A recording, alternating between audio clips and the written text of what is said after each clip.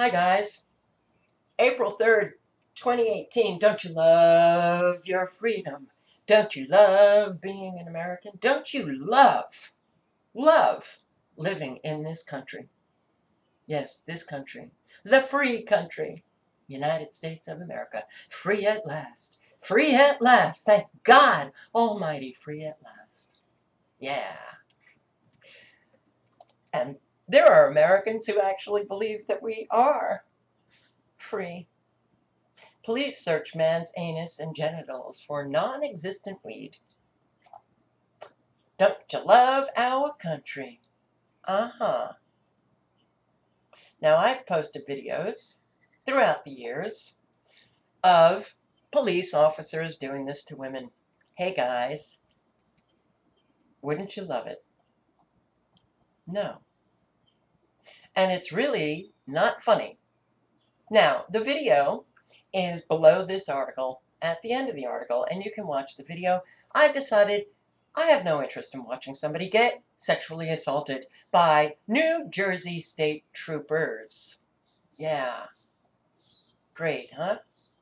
So, this video, it begins with Levine in back of State Trooper Andrew Whitmore's car, refusing to speak to them, refusing to speak to the uh, state troopers. I find it interesting that the state trooper decided to flip on his body camera at that point. Don't you think that police officers, if they're pulling somebody over, that they turn their body camera on as they are exiting their vehicle and approaching the civilian's vehicle? No. He turns it on when Jack Levine is sitting in the back of the car. Whitmore tells him the odor of cannabis gives them probable cause to search the vehicle. There was no odor of cannabis in the vehicle. So where was this odor coming from? Well, apparently the state trooper had put him in the back of his police vehicle and then I guess did something and came back to the police vehicle and said that it reeked of marijuana or reeked of cannabis. And that's enough. That's enough for a police officer to have probable cause to search a vehicle, and I think that standard is rather loose. Can't you see police officers lying? Hey, I smell pot. If they wanted to search somebody's vehicle, that's all they have to say today. So the officer walks over to State Trooper uh, Joseph Drew, who is searching Levine's car. So there were two state troopers, uh, and you can hear on this video the police officers, state troopers, saying, Smell anything in here? Negative?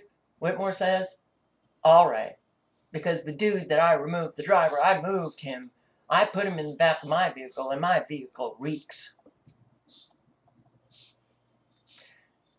He does reek. I think he may have something on him. He may have stashed it somewhere. Then the other officer says, Yeah, that's what I'm thinking. Another officer says it's not in his pockets. The officer, one officer begins to check Levine's waistband, and Levine mildly, vocally expresses his disapproval. And the police officer says, says, wow, now I've begun stuttering. That police officer said, if you think this is the worst thing I'm going to do to you right now, you have another thing coming, my friend. Wow. How Americans treat one another. Isn't it just, we're, guys, we are just so incredibly fabulous. Those peace officers, you gotta love them. So, Levine said, this is ridiculous. This is like sexual assault. I don't even have anything in my pants. What are you doing?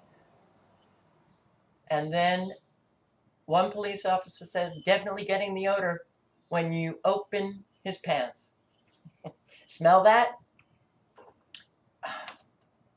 So Levine, as they're being, as he's being sniffed, says, All right, look, do you want me to take my boxes off right here so I don't have to waste your time and go downtown because you think I got weed? Like, what do you want me to do? Like, seriously, I have to go to work. You want me to take my clothes off? I would be more than happy to, officers. And shortly after, Levine asks, Am I free to go? Officer says, Not at this point, no. Whitmore. That, that was one of the officers. Uh, Levine asks, Am I under arrest? And the officer says, Yes, you are. Levine asks, For what? The officer says, You're under arrest for the odor of marijuana in your vehicle. Levine asks, So now you can get arrested for somebody smelling something? Whitmore, the officer says, Yes, yes, you can. Um, Levine states, I don't have weed. And then states, I don't want you guys effing doing me like the TSA and effing sexually assaulting me. And the officer says, if it comes down to it, I have to put my latex gloves and get it out of there, I will. Levine refers to the impending search as sexual assault. I don't know exactly if this is legal or not, but I don't think it is. That's what you can hear him say. You better hope this is legal. Yeah, it's legal. Don't you love our Supreme Court? I posted a video on this. 2012, Florence versus Burlington.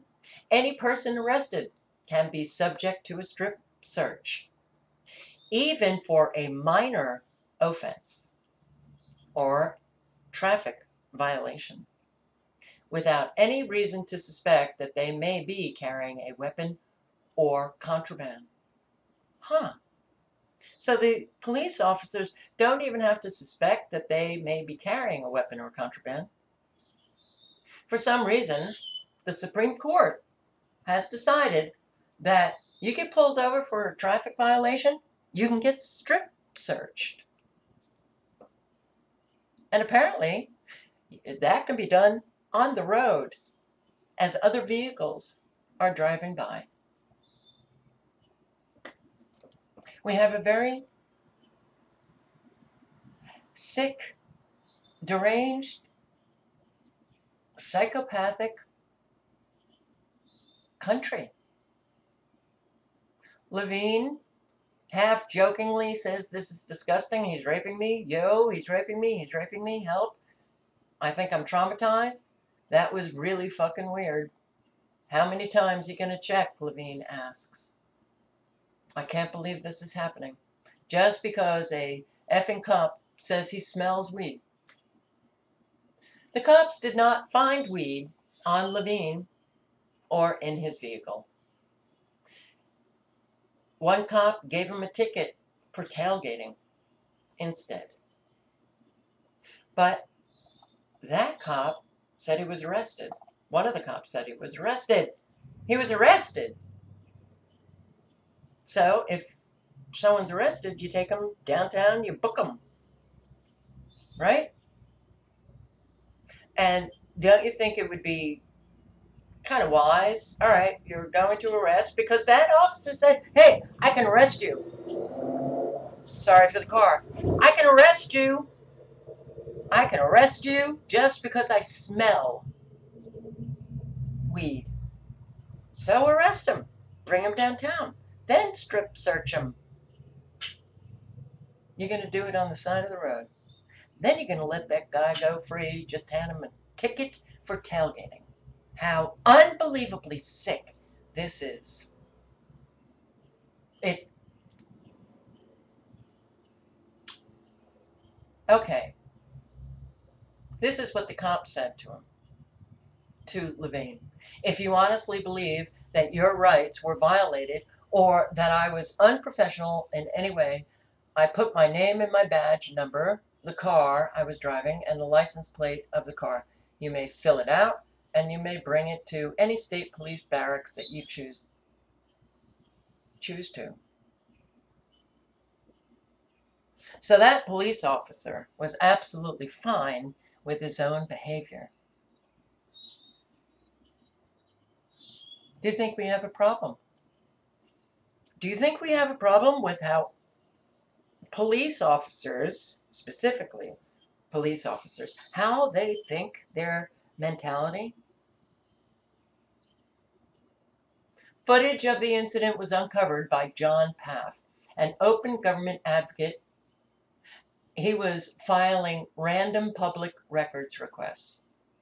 He told local news outlet New Jersey 101.5 that he became aware of the search after the driver filed a motion to extend the 90-day deadline for a tort notice. The notification a person must give a government agency before suing suing it in New Jersey in the Superior Court. He then filed records requests for the dash cam and body cam videos. The motion that Levine had filed, Levine said, it was the most humiliating experience I've ever been through. Also due to the fact people were driving by very slowly watching him with his hand down my pants. And when Levine actually watched the video footage, he realized that it was both officers both officers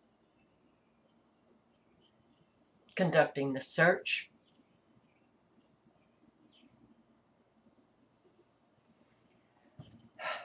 How is it Americans can't see what's happening here in our country?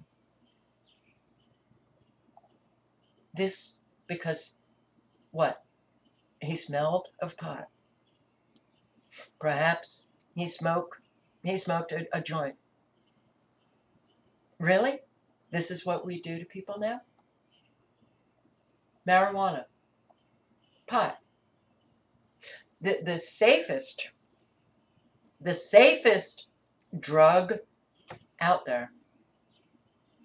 Some states now have legalized it. Other states have not. I, this has been going on my entire life.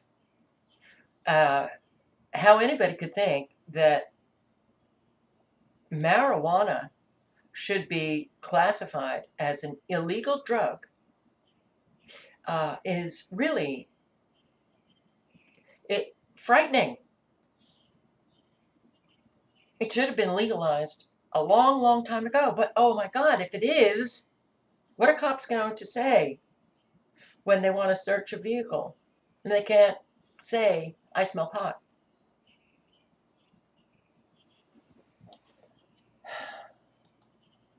This is how sick our country is. Our leaders. Drug dealer death penalty could apply to legal marijuana growers. Hey, get rid of them. Kill them. Kill them. I don't care if it's legal. Federal government. We didn't make it legal. State governments made it legal. And I'm pissed. So now I want to kill. Legal marijuana growers.